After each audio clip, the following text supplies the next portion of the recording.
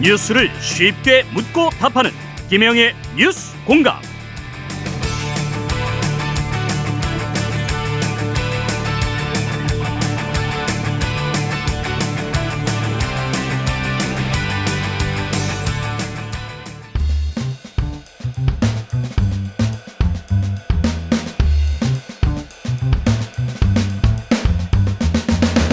데이터를 통해 민심을 묻고 읽어보는 민심은 Y.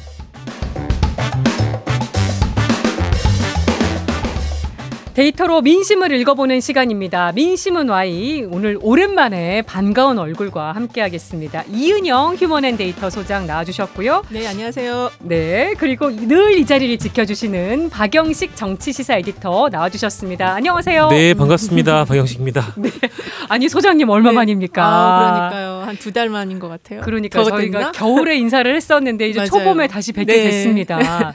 그동안 또 여러 일들이 있으셨잖아요. 어, 많은 경험을 했고요. 그동안 여론을 읽었다면 그 사이에 또 민심을 확인하고 왔습니다. 아, 네. 네. 아, 또 다시 오랜만에 뵈니까 제 입장에서는 좋은데. 네. 네. 두 분도 오랜만에 인사 나누신 아, 거죠? 예, 그럼요. 네. 저는 저희 대기실에서 한창 얘기 나누다 왔습니다. 수다 나누다 들어왔어요. 네. 어, 공천이 이제 거의 마무리되면서 여야 모두 이제 신발끈 조여 매고 뛸 준비를 하고 있습니다. 오늘 이제 여야 다 선대위가 출범을 했는데 민주당은 이재명, 이해찬, 김부겸 삼두마차로 3인 체제에 출범을 했고 국민의힘은 한동훈 비대위원장을 원톱으로 내세웠습니다. 통합형이냐 올인형이냐 여야 선대위 구성 두 분 어떻게 보셨는지 한 줄 평 들어보고 갈게요. 일단은 못 살겠다. 네.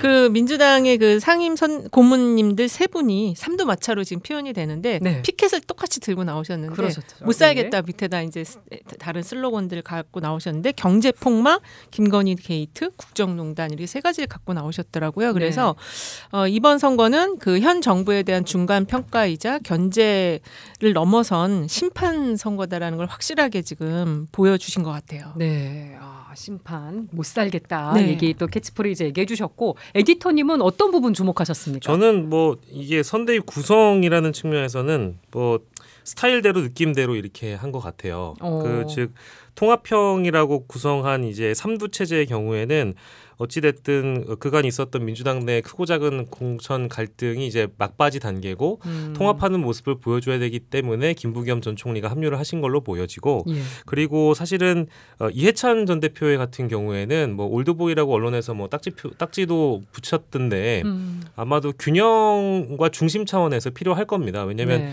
김부겸 전 총리가 합류하는 과정에서 일단 전제 조건을 내걸었던 것이 어, 선거 진두 지휘나 선거와 관련된 어떤 의견 개진에 있어서 이재명 당 대표와의 어떤 그런 어, 의견 갈등. 이런 것들이 예고될 수도 있다 이런 음. 보도들이 많이 있었거든요. 근데 예. 그 중심에 이제 이해찬 전 대표가 계시기 때문에 아마도 이제 그런 갈등은 어, 예상하기가 어려울 것 같고 그래서 중심을 잡아주는 역할을 하실 것 같고요. 네. 그래서 어느 정도 예상한 어, 통합형 뭐 메머드 구성이라는 표현들도 많이 하는데 음, 실제 그렇게 보이기도 하고요. 어, 이해찬 전 대표의 경우에는 상임 고문의 경우에는 여러 가지 굵직한 선거들을 이미 진두 지휘한 경험이 또 있기 때문에 네. 아마도 이제 전략통이기도 하고 해서 이번 선거가 굉장히 중요한 시점에 30일도 안 남은 시점이기 때문에 아무튼 이 세 분의 역할을 민주당은 기대하게 됐고 네. 어, 올인형이라고 표현되는 어, 국민의힘 입장에서는 사실 내걸 수 있는 간판이 많이 없는 게 사실이에요. 그리고 음, 장동혁 사무총장조차도 인터뷰할 때 아주 유사한 답변을 내놨거든요. 한동훈 예. 외에는 어, 내, 내세울 사람이 없다. 음, 근데 그동안의 지지도나 국민의힘의 분위기를 봤을 때 한동훈이 아니고서는 어, 이 상황을 이끌어갈 사람이 실제 없는 것도 사실인 것 같고요. 예. 한동훈을 내걸어야만 지지도가 최소한 유지되거나 음. 지지도가 올라갈 수 있는 모멘텀을 가져갈 수 있다고 국민의힘 내부에서는 평가가 있는 것 같아요. 예. 어, 의- 의원들이나 후보들도 마찬가지인 것 같고요. 그러다 보니까 어, 스타일과 느낌대로 구성했고 예상 가능한 음, 어, 그런 선대위 구성이다라고 저는 보여집니다.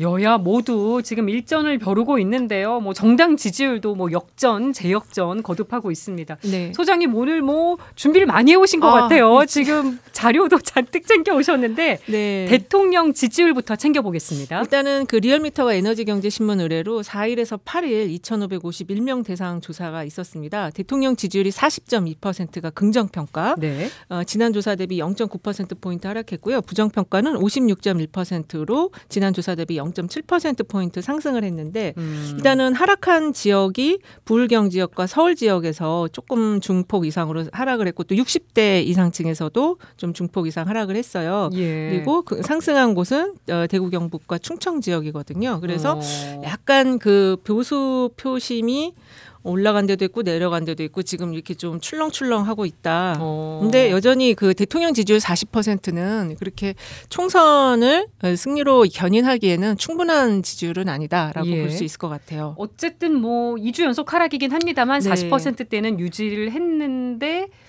어, 하락한 부분은 그동안 상승 요인으로 작동했던 뭐 의대 증원이나 민생 토론의 부분이 이제 좀 여력을 다해간 걸로 봐야 될까요? 어떻게 보세요? 그, 그러니까 양날의 검이 된 거죠 지금. 특히 이제 그 의대 정원 확대와 의정 갈등 같은 경우는 지금 약간 통제불능 상황으로 가는 분위기인 것 같고 오늘 이제 서울대 의대 교수 전원 사태 이런 것들이 그동안 이제 어 이게 약간 그래도 정부가 잘 관리하지 않을까라고 네. 이렇게 좀 지켜보던 국민들이 어 이거 조금 상황이 심각해지는데 그리고 정부가 이걸 왜 관리 못하지 이런 방향으로 가는 모멘텀이 오늘 될 수 있는 그래서 대통령 지지율도 소폭 아, 아주 미세하게나마 하락한 음. 것이 아닌가 이런 생각이 듭니다. 에디터님 분석도 들어보겠습니다. 저는 뭐 크게 보면 세 가지인데요. 첫 번째는 이 그 하락으로 돌아선 추세 돌아선 내용에는 어 제가 판단하기에는 3.1절 기념사가 기념사나 역사 논란이 이제 다시 이 뭐랄까 어 그 사람들 뇌리 속에 들어오게 되는 것 같아요. 특히. 3.1절 기념사와 8.15 광복절 기념사에서는 최소한 대통령께서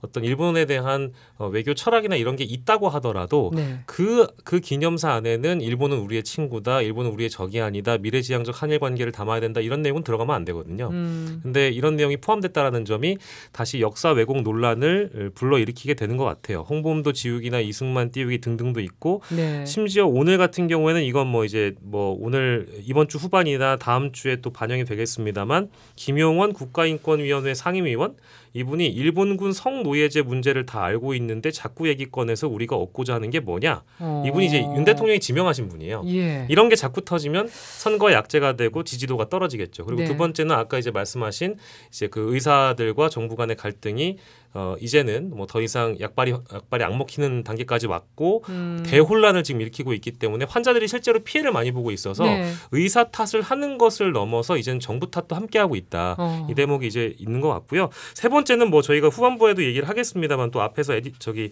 김준일 평론가께서도 말씀하셨는데 이종섭 전 장관 문제죠. 음. 수요일에 불거졌으니까 수 목 금 토 일 지금 오늘에 이르기까지 쭉 이종섭 전 장관 호주 대사 지명 문제 또 출국 뭐 이거 뭐 심지어 해외 도피라고 표현하는 분들도 계신데 이제 네. 이런 문제는 어, 특히 이종섭 전 장관의 경우에는 저는 뭐 아무튼 선거를 가르는 핵심 이슈로 이미 급 부상돼서 음. 정권 심판론을 아주 가열차게 밀어붙일 것이다라고 봅니다. 네. 아니 근데 정부에서 이걸 몰랐을까? 이걸 음. 예상 어느 정도 하지 않았을까 싶기도 한데 어떻게 이런 결정을 했을지 좀 의아한 부분도 있습니다. 그러니까 몰랐다고, 이제- 하는, 몰랐다고 하는 건 거짓말 그러니까요. 아닌가요? 네. 그래서 이제 도망을 시켰다 이런 얘기. 그러니까요. 온갖 또 신조와. 비판이 네, 나오고 있는데 그렇습니다. 상황을 보도록 하고요. 정당 지지율도 살펴보겠습니다. 직전 조사에서는 오차범위 밖에서 이제 민주당을 앞섰던 국민의힘이었습니다. 네, 이게 이제 뭐 아주 고무가 됐었는데 어제 기세 유지에 성공했습니까? 일단은 같은 조사에서 보면은 국민의힘은 41.9%, 민주당은 43.1%로 오랜만에 다시 민주당이 그 추격을 해서 역전을 어. 한 그런 결과가 나왔고요. 예. 그런데 이게 이제 그 KBS가 한국리서치에 의뢰해서 2월부터 한 세 차례 정도 조사한 그리고 이제 가장 최근에 한 게 7일에서 9일 3천 명 조사한 걸 보면은 네. 또 민주당은 약간 하락세, 그러니까 34, 33, 32, 국민의힘은 33, 35, 35 이렇게 약간 교차돼서 국민의 힘 국민의힘이 조금 앞서가는 이런 패턴을 보여서 어. 그래서 지금 이 정당 지지도를 보시는 분들이 좀 헷갈리실 수가 있고 네. 근데 어쨌든 양당의 결집판 속에서 이슈에 따라서 이게 오르락 내리락 서로 엎치락 뒤치락하는 그런 상황이 총선 4월 10일까지 계속될 것이다 이렇게 좀 어. 전망됩니다. 어, 이렇게 좀 엎치락 뒤치락 하면서 민심을 건드린 포인트 어떤 거 꼽으시겠어요? 일단은 그 최근에 이제 공천 작업이 마무리되었는데 민주당의 경우는 그 이게 상승한 이유는 이제 현역들이 좀 물러나게 되면서 새로운 도전자들이 부상을 하면서 그게 지지층에게 조금 더 어, 뭔가 에너지를 줬다 물갈이가. 이렇게 예 물갈이에 대한 어떤 현역 물갈이에 대한 게 좀 반응을 일으켰던 것 같고요. 국민의힘은 이 전체적인 어떤 그이 전국 관리가 좀 이 한동훈 비대위원장이 끌고 가기에는 음. 뭔가 위태로워 보인다. 음. 그게 조금 영향을 주는 것 같아요. 네. 에디터님은 정당 지지율 오르락 내리락 하는 거 어떻게 보셨습니까? 저도 뭐 사실 그 포인트라는 거는 유사한데요. 그 당연히 이 오르락 내리락 하는 그 이유는 누가 못하면 상대적으로 내가 잘나 보이고 내가 너무 잘해서 내가 또 부각되는 그런 거 아니겠습니까? 근데 반사 이익이 많이 들어 그렇죠. 반사 이익도 있고 내가 잘해서 얻는 그런 지지도도 있겠죠. 근데 음. 지금 어, 선거 국면에서는 상대적으로 반사 이익이 더 많은 것 같아요. 그리고 네. 실제 악재가 있었을 때 대표라고 하는 분들 특히 어, 국민의힘의 경우에는 한동훈 대표가 이거를 제대로 어, 되받아칠 수 있는 그런 능력이 되느냐에 대해서는 최근까지는 아무튼 언변이 굉장히 괜찮으셨는데 네. 최근에 불거지는 이슈에 대한 대응 능력이 좀 떨어진다라는 느낌을 저는 받았고요. 음. 그러니까 가령 예를 들어서 공천과 관련돼서 뭐를 물어보면 대답을 하시잖아요. 네. 도태우 변호사나 뭐 물론 이제 오늘 재검토를 한다라는 그런 기사도 봤습니다만 예. 도태우 변호사나 유영아 변호사와 관련해서 계속적으로 시스템 공천이라고 강조를 하시다가 어, 심지어 최고위원 회의였나요? 어떤 회의에서는 뭐 우리 안에 일배가 있나요? 했는데 일배가 있었잖아요. 그러니까요. 그래서 재검토를 하는 겁니다만 그것도 심지어 탄핵 기강을 다시 이 불러일으키는 거 아니냐라고 물어봤을 때 기자들에게 탄핵은 너무 머나먼 이야기다. 그러니까 이런 답변들이 유권자들에게 어라 한동훈 비대위원장이 그동안 어, 말을 참 잘한다고 생각했는데 기자들 질문에 답변을 잘한다고 생각했는데 이게 뭔가 이치 안 맞는 말들을 많이 하신다. 특히 공천 관련해서는 해명들이 그리 합리적이지 못한 것 같다- 같다는 음. 그런 생각이 좀 들어서요. 정우택 의원 동분투 의혹 사건도 여전히 진행 중인데 이 문제도 제대로 대처하지 못한 것 같고 예. 물론 박덕흠 의원은 경고를 줬다고 하나 이미 당선 케이크 잘랐다고 하죠. 네. 이런 것들이 하나하나 악재로 국민의힘에게 작용하고 있는 것 같고요. 음. 그래서 이게 최종적으로는 유권자들에게 어떤 안 좋은 인식을 줄 수 있냐.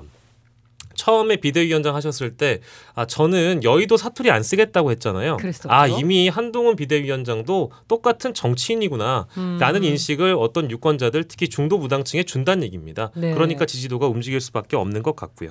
어, 민주당 같은 경우는 초반에 이제 뭐 공천에 관련된 논란들이 이제 많이 좀 주목이 되면서 네. 정권 심판론과 민주당 지지 사이 사이에 좀 디커플링이 일어났다 이런 분석도 있긴 있었습니다. 네, 저도 좀 그렇게 보는데요. 근데 이제 뭐 다시 이제 당 음. 지지율이 재역전이 일어난 거. 네. 이제 공천 파동의 터널을 통과해서 정권 심판론이 다시 살아나는 걸로 볼 수 있겠느냐? 요 추세는 어떻게 보세요? 일단은 이제 민주당이 그 공천 과정이 크게 세 덩어리가 있어요. 예. 현역 하위 평가자들에 대한 어떤 탈락의 과정, 그 다음에 그 현역 단수 추천을 해서 또 이 지지자들의 어떤 실망감을 준 과정, 그리고 이제 요 마지막에 경선을 통해서 현역들이 그 경쟁을 통해서 탈락한 과정. 근데 예. 지금 이 마지막 과정에서 민주당의 지지세가 약간의 그 정권 심판론과 개를 같이 하면서 음. 어, 디커플링이 다시 커플링이 되는 네. 그런 패턴을 가졌다라고 저는 보고 있거든요. 그래서 어, 이게 처음부터 전체적으로 그냥 경선으로 쭉 진행이 됐다면 지지자들의 열망이 거기에 같이 개를 타고 쭉 올라가면서 상승 기류를 만들었을 것인데 지금 그렇지 음. 못했기 때문에 엎치락 뒤치락 이런 흐름으로 간다. 그나마 마지막에 지금 조금 상승 기류를 타고 있다 이렇게 말씀드릴 수 있을 것 같고 네. 그 정점이 이제 지금 오늘 정봉주 의원의 그 이제 경선 결과가 경선 나왔죠. 결과와 이제 또 전해철 의원의 경선 결과가 이제 정점을 찍지 않을까 이렇게 생각이 들어요. 네. 에디터님은 민주당이 이제 정권 심판론에 좀 힘을 받을 수 있을 것인가 아니면 국민의 힘이 다시 한번 또 역전이 가능할 것인가 어떻게 전망하십니까? 저는 솔직히 지난주에 뭐 뉴스 공감에서도 잠깐 언급했고 다른 방송에서도 쉽진 않을 거다 상황이. 그러니까 이제 민주당에서 공천 불이익을 받았거나 이제 비명계 의원들 혹은 어 이제 컷오프가 되신 분들의 반발이 꽤 거셀 거라고 예상도 했었고 뭐 물론 탈당하는 분들도 계셨습니다만 이것이 민주당 내에 여전히 이제 잔불로 남아 있어서 언제든 또 불붙을 가능성이 있을 거라고 봤어요. 네. 근데 그건 아닌 것 같고요. 일주일 사이 좀 정리가 많이 돼가는 분위기이고 실제로 정권 심판 정서가 다시 불붙은 어, 어 아무튼 배경이 있는 것 같습니다. 아까 네. 저희가 얘기, 얘기했던 이종섭 전 장관 사태가 제일 큰 것 같고요. 어. 그리고 사실 두 번째로는 어, 타 정당의 출연입니다. 뭐 어떤 정당인지 다 잘 아실 텐데 예. 이미 정권 심판 정서가 어, 이제 뭐랄까 어, 민주당 심판 정서보다 어, 약간 수면 아래에 가라앉아 있던 상태에서 네. 갑자기 불난데에 기름을 붓는 정당이 태어났죠. 그러니까 조국 혁신당 때문에 아 그랬지 음. 맞다 그랬어 이 이 정권은 심판해야 네. 돼라고 생각하는 유권자들이 다시 어, 조국 혁신당을 뽑든 민주당에게 표를 주든 이번에는 꼭 투표를 해야 되겠다라는 그런 정서가 다시 불붙게 된 것 같아요. 그러니까 예. 이건 뭔가 민주당이 공천 갈등을 잠재우는 어, 어떤 역량도 발휘가 됐었다고 일부 평가하지만 음. 조국 혁신당의 역할이 오히려 더 컸다고 보는 시각이 현 시점에서 는 네. 맞는 것 같습니다. 그래서 이게 이 추세가 더 갈 것이냐 음. 소장님께서도 이- 이따 얘기해 주시겠습니다만 더 갈 가능성이 높아 보이긴 합니다. 예. 조국 신당은 어부지리를 크게 얻은 거죠. 틈새 시장을 잘 공략을 해가지고. 그러니까 지금 비례정당 지지율 보면 상당히 높게 나오고 있더라고요. 네, 맞아요. 20%대 초반에서 뭐 치, 이- 예, 저기 10%대 중후반으로 지금 나오고 있는데 예. 근데 지금 이쪽도 비례 명부 이제 구성이 네. 남아 있잖아요. 이걸 또 그러니까요. 봐야죠. 네. 네. 이번에 총선의 판세를 가늠해 볼 수 있는 격전지 민심도 한번 살펴보려고 하는데요. 뭐 격전지가 너무 많습니다만 베스트 5 중에 아마 이곳이 들어가지 않을까 싶습니다. 인천 계양을 네. 원희룡 전 장관과 이재명 대표가 맞붙은 지역인데 지금 여러 조사를 보면 원 장관 원전 장관이 이 대표를 추격하는 걸로 나오고 있습니다. 네. 네, 지표 있으면 소개해 주실까요? 네, KBS가 한국리서치 의뢰에서 8일에서 10일 500명 대상 조사를 했습니다. 이 자료를 보면 은 이재명 대표가 48%, 원희룡 전 장관이 36%로 어, 2월에 비해서 이재명 도- 음, 대표는 4% 포인트 상승을 했고 네. 원희룡 전 장관은 2% 포인트 하락을 했어요. 격차가 지금 더 벌어지고 있는 상황이고 어. 당선 가능성은 이재명 대표가 56%, 예. 원희룡 장- 전 장관은 32%로 나타나서 지금 원희룡 전 장관은 당 지지율 정도 받고 있고 이재명 음. 대표는 당 지지율을 넘어서는 지지율을 확장해서 나가고 있다 이렇게 어, 보여지고 있습니다. 그럼 원전 장관의 등판이 이 판세에 좀 영향을 얼마나 미쳤을까? 뭐 명룡대전이라고도 불리면서 집중을 받고 있는데 그렇게 이제 구도는 굉장히 관심을 끌게 했는데 그 선거 캠페인이 좀 너무 장난스럽게 이루어지고 있고 그 어. 이천수 그 전 축구 선수하고 같이 같이 다니는 게 굉장히 좀 국민들이 아, 그 유- 지역 유권자들이 볼 때는 너무 좀 치기 어린 모습, 어. 더맨더머 같은 그런 모습이 좀 정치적 긴장도를 떨어뜨렸다. 그래서 관심 밖으로 밀어내는 것이 아닌가 오히려. 그런 생각이 들어요. 네. 개항을 판세 어떻게 보고 계십니까? 저희가 한 두 달여 전에 이제 원희룡 전 장관 어, 출마 어, 문제를 가지고 개항을 해 실제 나갈까 나가지 않을까 얘기했을 때 저는 안 나가시는 게 좋겠다라고 조언드린 바 있고요. 실제 이런 결과를 받아 들어본 원희룡 캠프는 아마 비상이 걸렸을 거고 음. 어, 노란불 정도로 생각하고 있을 가능성이 굉장히 큽니다. 네. 근데 기타 이제 저희가 언급한 이 조사 말고도고요. 아, 말고도 뭐 여러 여러 여론 조사에서 차이가 좀 커 보이는 조사들이 많이 나오고 있는 것도 사실이거든요. 그래서 제가 한 분의 예를 좀 드리고 들어드리고 싶은 게 예, 이재명 대표는 어찌 됐든 지난 대선에서 어, 국민 절반 가까이 지지를 얻은 대선 후보잖아요. 예. 근데 우리가 가만 생각해 보면 대선 후보들이 지금 어, 지역구 선거에 출마한 인물들이 누가 있나 떠올려 보면 대표적인 게 있다 뒤에 얘기하겠습니다만 안철수 의원도 네, 계시거든요. 있죠. 네. 근데 안철수 의원은 죄송합니다. 민주당 쪽에서는 안초딩이라고 부르거나 음. 국민의힘에서도 안철수 의원을 뭔가 좀 인정하지 않는 분위기가 덜어 있어요. 그럼에도 네. 불구하고 살아남아서 지금 정치 생명을 이어가고 있지 않습니까? 예. 그럼 왜 그렇겠습니까? 대선에 나가서 경쟁력 있는 모습을 보여줬거나 아니면 음. 대선에 나가서 인지도를 획득했거나 뭐 전 둘 중에 하나라고 보거든요. 예. 둘 다일 수도 있고요. 그래서 원희룡 전 장관께서 이재명 대표를 좀 너무 우습게 봤다. 어. 그렇죠.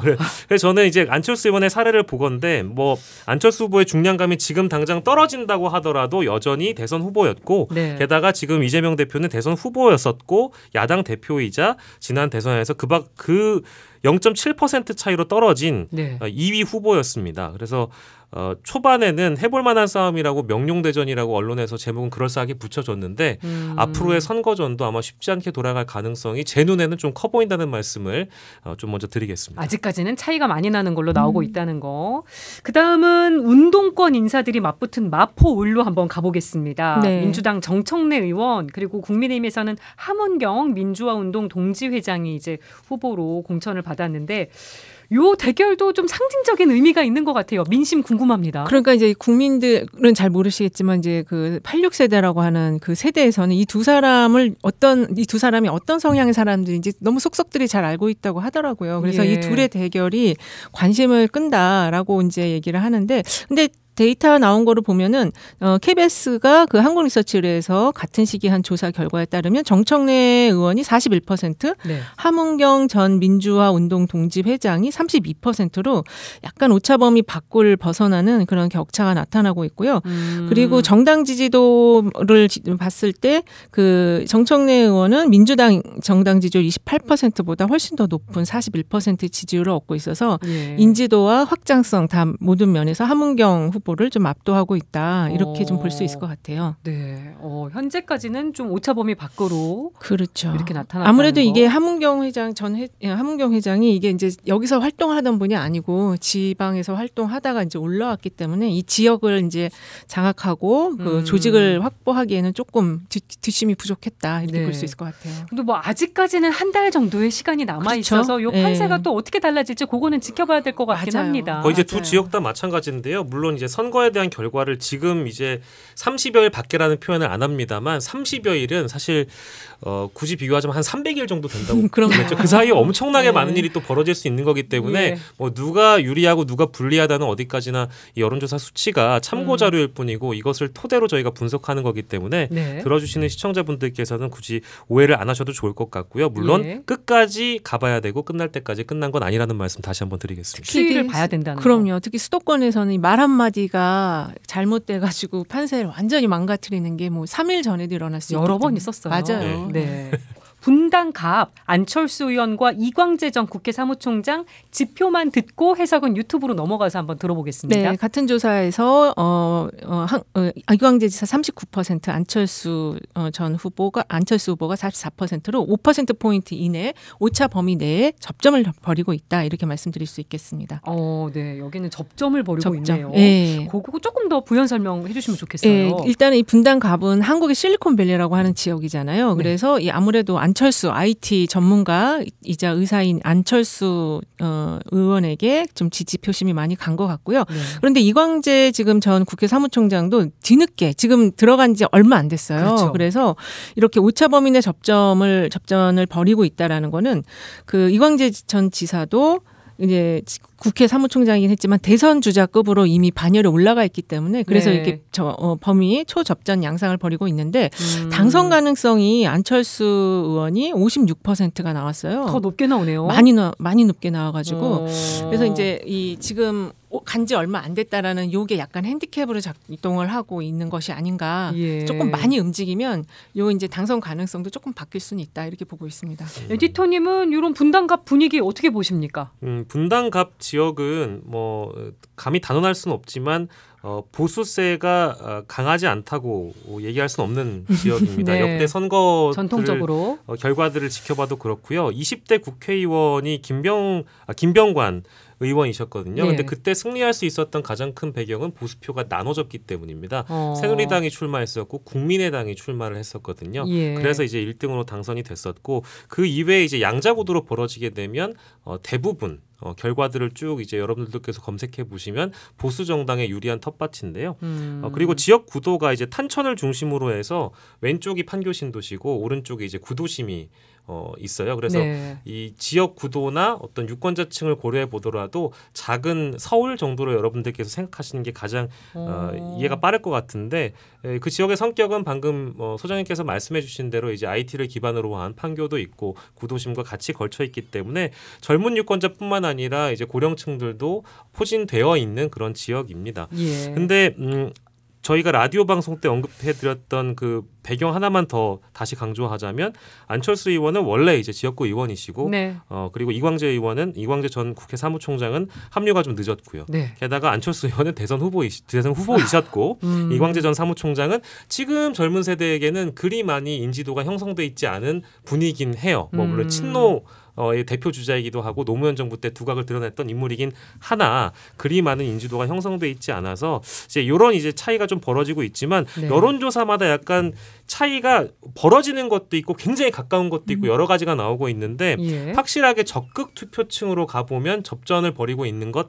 같긴 합니다. 그래서 끝까지 예. 보긴 해야 될 텐데 사실상의 양자구도 상황에서 과연 이광재 후보가 남아있는 기간 동안 얼마나 홍보를 잘하고 음. 어, 메시지를 잘 전달할 수 있는 가가 저는 관건이라고 보고요. 네. 어, 안철수 의원의 인지도 무시할 수는 없다라는 게 제 결론입니다. 역대 판세로 보면 보수 쪽이 유리했다는 것도 같이 짚어주셨고, 뭐 저희가 모두 전국을 다 살펴볼 수는 없습니다만 두 분이 개인적으로 주목하고 계신 지역 민심 어디일까? 요것도 좀 들어볼게요. 저는 경기 수원병인데요. 여기가 어. 이제 김영진 의원과 박문규 뭐, 뭐, 전 전 산업 산자부 장관. 네, 산자부 장관이 출마한 곳인데 김영진 의원은 지금 이제 이재명 대표의 핵심 측근으로 알려져 있고요.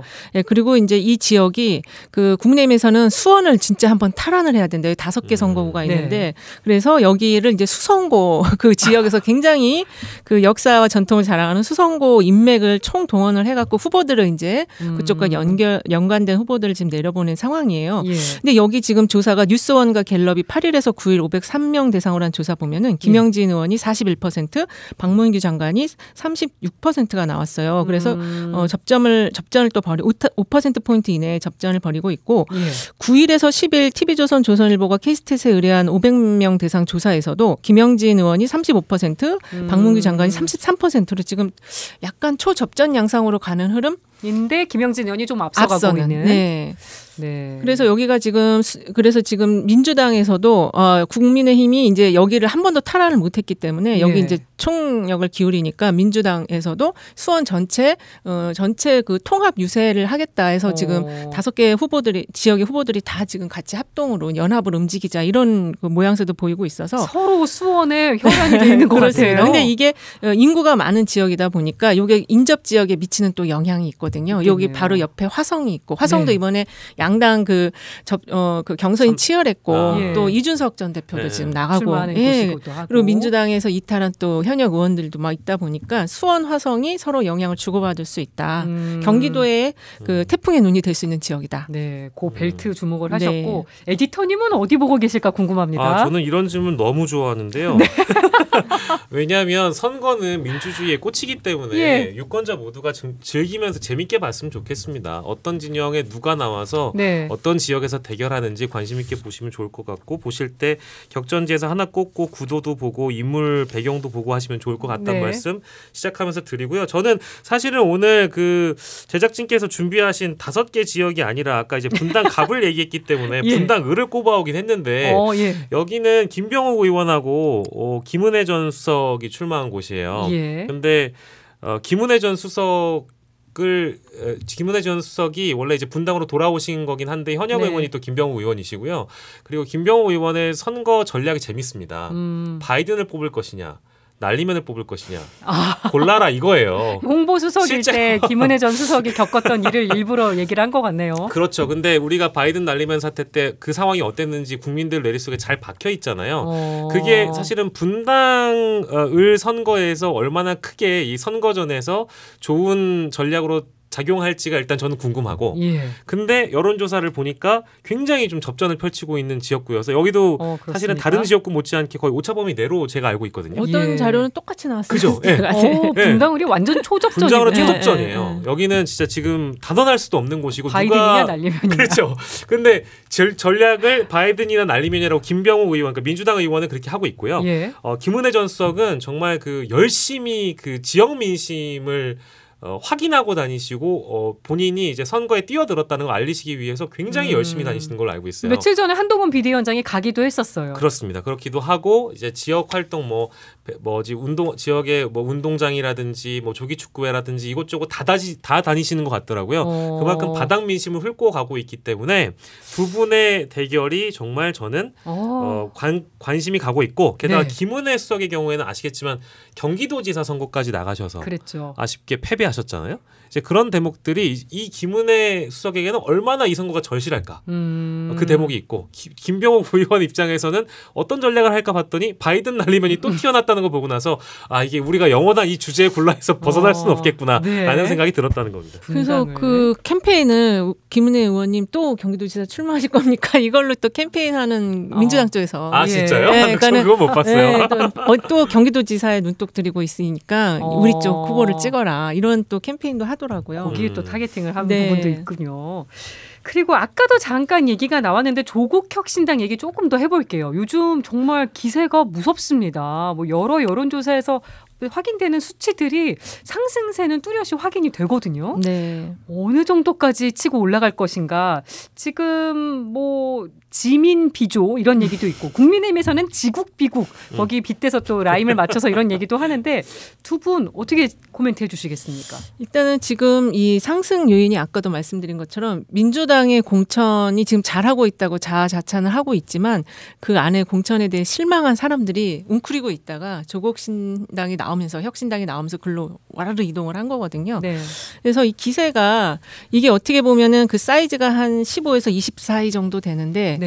그 민주당 의 지지가 그만큼 좀 빠져나갔잖아요. 그 그러니까 겹치는 부분이 있어요. 있어요. 교집합 부분이 있기 때문에 그래서 어, 지지율이 유지될 수도 있다. 하락하지 어. 않고 지금 그렇게 보고 있는데 근데 이제 관건은 그 비례정당 명부 구성을 어떻게 예. 할 것이냐. 근데 지금 민주당의 그 민주연합 비례정당하고 좀 차별화가 될 것으로 좀 많이 예측을 하더라고. 지금 민주당의 비례연합 정당이 조금 인지도가 떨어진다 이런 구성이 좀 예, 다른 느낌이 너무, 있습니다. 예, 그래서 그렇게 되면은 어, 좀 더 그 탄력을 가져갈 수도 있다. 어. 좀 지켜봐야 될 것 같아요. 그리고, 조국 대표도 또 비례대표 출마를 출마 선언한. 부분까지 또 예, 맞물려 예. 있고요. 그리고 이제 그 지역에서 또 출마자가 나올 건지 물론 지역에서는 출마하지 않겠다라고 말은 했지만 지금 살짝 바꾼 게 민주당이 내지 않는 곳에 낼 수도 있다 이렇게 음. 되었기 때문에 그래서 이제 그런 좀 쟁점 사항들을 봐야 될 것 같아요. 네. 그러니까 한 2, 2 3주가 안 걸린 것 같아요. 음. 지금 이런 스- 상황까지 빠르게 진행됐어요. 굉장히 빠르게 진행됐고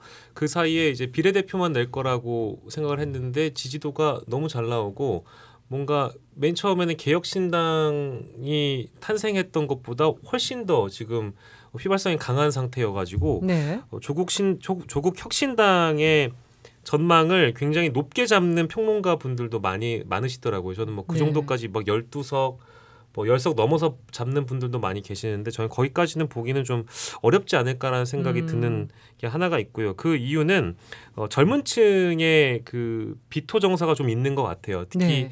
어, 선거는 뭐, 뭐 전체 연령을 다 치르는 거니까 2030들 위주로 아무래도 이 표창장 위조건에 대한 그런 비토 정서가 좀 있는 것 같아서. 그거 저도 그거 여쭤보고 싶었거든요. 네 네. 그래서 실제로 조국 혁신당의 경우에는 304050 위주로 특히 이제 진보 성향 지지자들 중에 마음에 부채 의식이 있거나 음. 혹은 더 선명하게 정권에 맞서서 싸울 수 있을 정당으로 조국 혁신당을 평가하는 것이지만 네. 어 좀 뭐랄까 연세가 좀 드신 분들 또 아주 젊은 20대 유권자들의 경우에는 조국 혁신당으로 이제 응집하는 그런 유권자들이 좀 없어 보여서 생각보다는 지금 언론에서 많이 다뤄주는 매체에서 많이 다뤄주는 비중만큼의 만약에 득표가 나온다면 음. 15석도 나올 수 있겠죠. 근데 네. 그렇게까지 가려면은 굉장히 꽤 많은 득표를 해야 돼서 그건 좀 어려울 것 같다. 어. 그래서 열석 열석 안쪽에서 저는 아마도 당선권에 들어가지 않을까 원내 입성이 가능하지 않을까라고 조심스럽게 예측을 해 보고요. 네. 다만 저는 지난주에도 그랬습니다만 조국 전 장관께서 자신의 명예 회복을 위한 출마가 아니라는 것을 보여주기 위해서 예. 비례대표 의원 출마를 하지 않으시는 방향으로 하면 더 좋지 않을까 그런 얘기 하셨었는데 했었는데 어제 입장을 표명을 예, 했죠. 네. 번번이 지금 볼빨간 판례가 되고 있습니다. 그래서 예상은 섣불리 하지 않으려고 아, 네, 예. 노력하고 있고요. 아무래도 이 조국 신당, 조국 혁신당이 그 호남에서 지지율이 높더라고요. 예, 그래서 이제, 지역적으로는. 예, 그 민주당 지지층을 또 상당 부분 반분해가는 흐름까지도 어떤 데이터에서는 나오거든요. 네. 그래서 그 중도 보수층을 결집시키기보다는 민주당의 강성 지지자들이 이쪽으로 다 가버렸다. 어. 그럼 민주당은 앞으로 이제 어떻게 할 거냐. 왜냐하면 어. 이게 핵심 코어층이 있어야 되거든요. 네. 민주당이 그 속에서 지금 이 조국 어, 신- 혁신당을 또 견제하는 지지자들이 또 있어요. 네. 그러니까 이게 이제 앞으로 총선 지난 이후에 이 두 세력 간의 어떤 갈등 이런 것도 음. 또좀 엿볼 수 있다. 지금 네. 이 상황에서. 음, 다른 선거와 조금 차이점을 두자면 물론 이제 중간 총, 중간에 있는 총선은 늘 정권 심판 정서가 껴있는 선거가 총선이 대, 대표적이었지만 예. 지방선거든 뭐 총선이든 간에 근데 지금 유난히 집권 초반 2년도 안 된 대통령의 국정 지지도가 너무 낮고 음. 정권을 심판해야 된다는 정서가 지금 너무 높은 상황으로 지금 이미 50을 넘어가는 상황이 오래 유지됐잖아요. 네. 그러니까 이게 이제 너무 지친다. 민주당이 지금까지 제대로 하지 못했으니까 음. 조국 혁신당만큼은 비례표를 줘서 정말로 정권을 심판할 수 있는 정당 하나 정도는 필요하다. 기, 네. 뭐 우리가 보통 표현하는 뭐 선발대, 뭐 기- 기동 타격대 이런 표현들 많이 하잖아요. 네. 그래서 아주 선명한 메시지가 있는 오히려 나는 정권으로 하여금 탄압을 받았기 때문에 음. 그만큼의 되갚음이 가능한 인물들로 바라보는 유권자들도 많이 계신 것 같아요. 예. 그래서 만약에 심판하게 된다면 이 정당이 확실하게 잘할 것이다. 라는 의면에서 표가 응집될 수 있겠죠. 짧게 네. 한 말씀 더 드리면 이제 조국 혁신당 처음에 나왔을 때 3년은 너무 깁니다. 그 이게 아, 이게 그거는 예, 이게 캠페인. 예, 슬로건이 굉장히 그동안 좀 그러니까 뭔가 좀 이렇게 어, 이- 우리 이게 바꿔야 되는데 음. 그 정권을 심판해야 되는데 그 정서가 있었는데 그걸 흔들지 못하는 거를 깨우쳐 줬거든요. 그래서 예. 지금 민주당에서도 어, 탄핵을 합시다. 탄핵에 대한 이야기가 캠페인 슬로건으로 나오고 있는데 네. 어, 선명성 싸움이 어쨌든 지금 진행되고 있다. 그래서 음. 그러면 이제 제일 중요한 건 투표율이 어떻게 그거에서 영향을 받을 것이냐. 그것까지 네, 연결되는. 부분을 봐야겠네요. 근데 이제 이것도 하나만 하나만 덧, 덧붙이자면 아까 제가 민주당이 그동안 어, 제1야당으로서 제대로 싸워주지 못한 그 갈증을 조국 혁신당에 투영한다고 했잖아요. 예. 근데 지금 탄핵 얘기를 해주셨습니다만 어, 거리에서 집회를 하시는 분들은 1년 반 내내 집회에 나와서 탄핵 탄핵 노래를 노래를 불렀을 때도 네. 민주당은 당 차원에서 뭔가 본격적으로 움직여 주지 않았거든요. 음. 근데 이게 선거 임박해서 만약에 민주당에서 탄핵이라는 메시지가 이제 물리적으로 나오기 시작한다면 네. 뭔가 기회주의적 기회주의적 관점에서 바라보는 유권자들도 분명히 생긴다. 비판받을 소지도 있다. 그렇죠. 그래서 제가 만약에 에, 뭔가 조언을 드릴 수 있는 자격이 된다면 총선 이후에 이거는 뭔가 의회 권력을 획득하고 나서 뭔가 가시화해도 상관없다고 저는 생각해요. 근데 음. 뭔가 물론 지금 표가 급하고 조국 혁신당과의 대결에서 비례대표에서도 질 수 없으니 네. 탄핵을 내걸겠다. 이거는 조- 오히려 뭔가 그 거부감을 음. 안겨주진 않을까 하는 우려가 좀 개인적으로 있죠. 네. 추이가 어떻게 되는지 민심은 아이에서 계속 확인하실 수 있겠습니다. 두 분과의 이야기 여기까지 하겠습니다. 고맙습니다. 감사합니다. 감사합니다.